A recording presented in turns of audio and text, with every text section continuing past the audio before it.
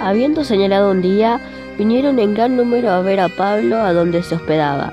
Entonces, desde la mañana hasta la tarde, testificó el reino de Dios, procurando persuadirlos acerca de Jesús, por medio de la ley y los profetas. Hechos capítulo 28, verso 23. Primero Dios.